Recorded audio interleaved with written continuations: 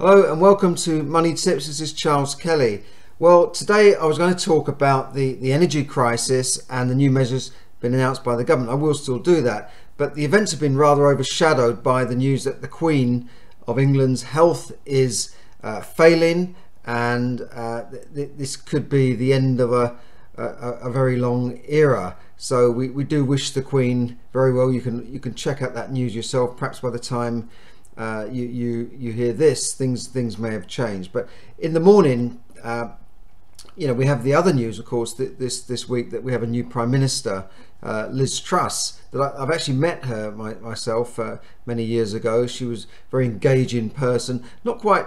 I I think on on camera she comes across as quite cold and businesslike, but actually uh, she, she's known to be uh, friendly and, and, and fun loving social person very much a family person but I, I, do wish her well. And one of the first things she had to tackle was the the energy crisis and this this cost of living and energy crisis that is hitting the country. A few weeks ago I announced that the the energy cap could put up bills again that, that have already gone up by, by 80% in October. And I think the government had to step in and do something.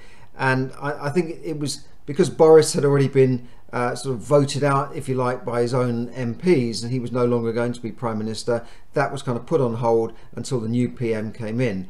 And Liz Truss uh, beat off her rival, Rishi Sunak, largely on the basis that she was going to do something uh, to, to, boost things, maybe even if it meant boost spending, but do something now to, to help people and get the economy moving again.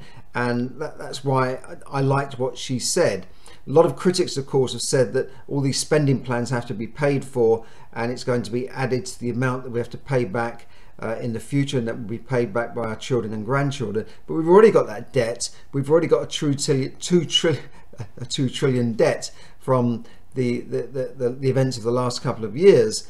And you know the government spent uh, something like 300 billion on measures such as the uh, uh the furlough scheme, paying people to stay at home, and a lot of people are still staying at home, especially civil servants, and bounce back loans and, and that sort of thing. So, so Liz Truss is, is going to, and the first thing she had to, to do is deal with this energy crisis because this this new energy cap lifting, which means that the the, the, the regulator will lift a, the cap on what uh, energy companies can charge. There was a cap there and they lifted it and we're going to lift it again in October because of wholesale prices because the energy companies could no longer afford to uh, supply it at that level. They were going to lift that cap possibly by 80% and that would have sent bills like literally through the roof soaring. Now other countries have taken step, Germany and France have spent like 50 60 billion euros and the government now looks to be spending possibly up to 150 billion pounds on a package to cap bills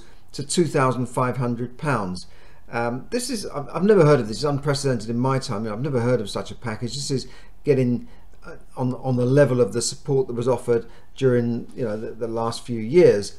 Uh, so she's announced this plan in Parliament and uh, it said that they will basically they're freezing the cap on bills for the next two years and for businesses for the next six months that um, we don't quite know all the details yet and quite how it's going to be paid for but it's in consultation with the energy companies. Some sort of levy will be added to our bills over the, over the future. So it's it's a bit like a loan really. It's it's a bit like um, topping up your mortgage with another loan uh, because uh, this is all got to be paid for somehow right?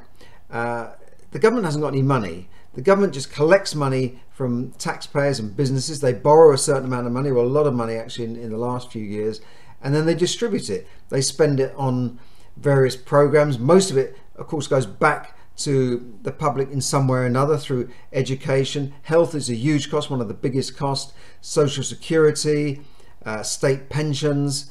Uh, it, it, goes back in some way. Education, of course, and, and defense is, is a smaller proportion, but police, all these things. Uh, and then it gets filtered down to local authorities who, who spend on uh, keeping up the roads, the parks, the libraries, collecting your bins, your rubbish, um, de dealing with that sort of thing. And of course, there's tends, I mean, half the country is employed in one way or another by the government, more than 50% of the workforce. So it kind of gets churned and spent again. And a lot of people are critical of the amount of money that's spent by government. But, you know, when you say the government are stealing money from us, yeah, they're taking money from us and, and they're paying it out again in, in some form. Obviously, they look after themselves.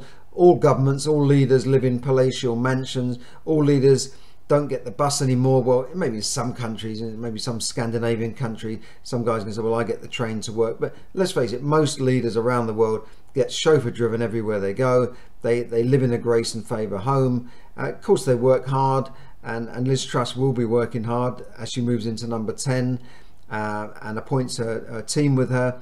But, you know, they, they do look after themselves. Incidentally, another important point to remember is that the top team that Liz is appointed because when a new prime minister comes in, they tend to get rid of the, the other cabinet members, the other close government members, and bring in their own people. And some of them jumped before they were pushed, like Priti Patel, the Home Secretary. Uh, she's been replaced by a, a woman of, of, well, her family are of Indian descent, so she's a woman of colour. The Chancellor of the Exchequer, Kwasi Kwarteng, is a, is a person comes from a, an immigrant family. Um, and uh, so so we, we have now a woman prime minister and the people in the top team, including the foreign secretary James Cleverly, all people of colour or women. So it's the first time that uh, the, top positions of state, the great offices of state, which is the prime ministers, the foreign office, the chancellor, the treasury, the chancellor of the exchequer, and the home office, looking after our security and all that. Uh, uh all those positions are now headed by non uh, non-white men, if you like. Uh, so it's the first time, and, it shows that there is a lot of diversity in in the UK. Uh, so anyway, getting back to, to what I was saying, this this measure of support will possibly cost 150 billion. We don't know the total cost yet because it depends on how gas prices go over the next few years. Of course, we've seen a surge in gas prices since the Russian invasion. If things get sorted out there, gas prices might come down, but she's also announced measures so that uh, to, to, to, ensure that the country is not in this position ever again. And that could include uh, bringing back fracking, which has lifted the, the, the, ban on fracking, which is a way of getting shale gas out of, out of the ground. Boris, in his sort of green uh, plan, uh, shelved that plan, even though we'd, we'd, already drilled and found places where we could get uh, shale gas through fracking. But uh, she's bringing this back, and that means certain places around the country we could see disruption, we could see demonstrations. But if we can get that uh, shale gas out of the ground, uh, one MP said today there was 150 years worth of gas in the ground. There's also North Sea oil and gas, which they've kind of not uh, been continuing with with exploration and, and digging out that oil, drilling for that oil. So we could see that coming back. Um, so we've got to be, and, and, nuclear, of course, where she's announced massive plans for um, nuclear spending, including uh, a place in, in Sussex, uh, the Sizewell nuclear plant. They're going to spend billions there immediately, getting that up to scratch. So we, we could see, and, and this, this spending does have a trickle down effect because it creates jobs in those areas uh, and, and it, it just creates more activity, more business activity. There's spin-offs from those jobs. There's spin-offs to the local local community, which all employ people as well. So I think we're going to see good things under Liz Truss. Let's keep fingers crossed. We want her to succeed. We want the country to, to get out of what we seem to be going into, which is a recession. The Bank of England said we're in, in we're going into recession. We've got you know almost record for the, in our time record interest rates, inflation uh, you know, over 10% now. So something's got to be done, and I, would like to say. Other good news is that she's suspended these green levies, which we all pay for. These green projects, these wind farms, we all paid for on our bills that adds 150 pounds on average to every bill every year. So bills are going to be capped at two and a half thousand pounds on average for families. That means a, a roughly 200 a month. Um, so some are going to benefit a lot, some won't benefit. Obviously, if you are, uh, you know, a wealthy person earning, you know, in the top levels of incomes, like if you're earning a quarter of a million a year, then you know another couple of hundred or another three, four hundred on your bill is not going to make a big dent in your in your overall budget. But if you are earning, say, 20,000 a year, you know, a 5,000 pound a year uh, energy bill is, is, is a quarter of your income. It's like you would, the sort of amount you'd pay on rent or a mortgage. So something, you know, I'm glad that they're really doing something and taking positive action. So people have still seen their bills double, by the way. So it's not all, uh, you know, roses in the garden. It, people have still seen their bills double already, but it won't double again and, and that's that's the good news so why is it then that people always seem to need government aid in times of crisis. We saw this uh, during the you know the last couple of years when we had had the furlough scheme. We saw companies laying people off, and people said that you know I've been working here 20 years. They've just laid me off now. I can't survive more than a month. You know I'll be able to pay my mortgage this month, but after that I can't do it. Now why is it that after working all those years, people are in that position. Are you in that position? Can you afford to pay your bills? Would you have been able to afford to heat your home this winter uh, had this package not been announced? Would you be able to pay your bills this winter with the package? You know, your bills have already doubled. Can you afford to heat and eat? Can you afford to live comfortably? Or are you going to be sitting in your home freezing cold with two or three jumpers like one XMP suggested and, you know, wearing all these clothes and sitting and watching TV with a hot water bottle around your, your belly? So are you in that position? Because I, I do wonder why people are I mean I'm not you know criticizing anyone I'm not judging anybody but it does seem strange that we live in you know one of the top 10 nations in, in wealth in in the world. I, I, I think we were fifth or sixth and we've been pushed back by India apparently. India has overtaken us in the in the wealth state in the world stage of wealth. Uh, but we're still one of the wealthiest countries in the world. Um, you know why is it that we're in that in that position? Well the answer is um, people, you know, the vast majority of people have little or no savings. They, they don't manage their money properly. They live month to month throughout their working lives and often into their retirement. They're still living, you know, month to month, paycheck to paycheck, as they say. Um, and if anything goes wrong, they're in a disaster period or they have to borrow money to get out of it. They have to take short term loans to pay bills or to buy food. Sometimes they're buying food on their credit cards and they kind of, they're on that never they're like a rat on that that wheel that, that just never seems to stop. They just can't get off the the wheel. And like you know the hamster wheel that runs around and just keep running and running. So that's the position that a lot of people are in because they cannot manage their finances. Now people say well no it's all right for you if you earn a lot of money and that sort of thing.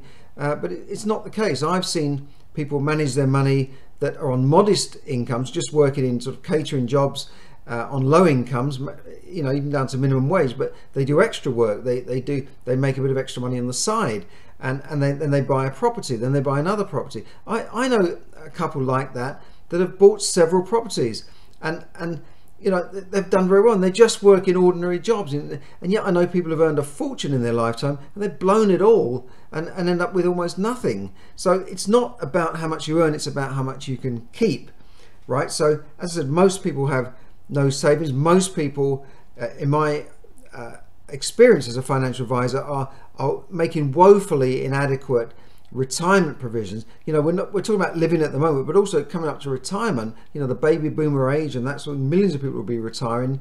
Um, this is, you know, and this is why millions of pensioners will actually be still dependent on the state, even though they're in retirement.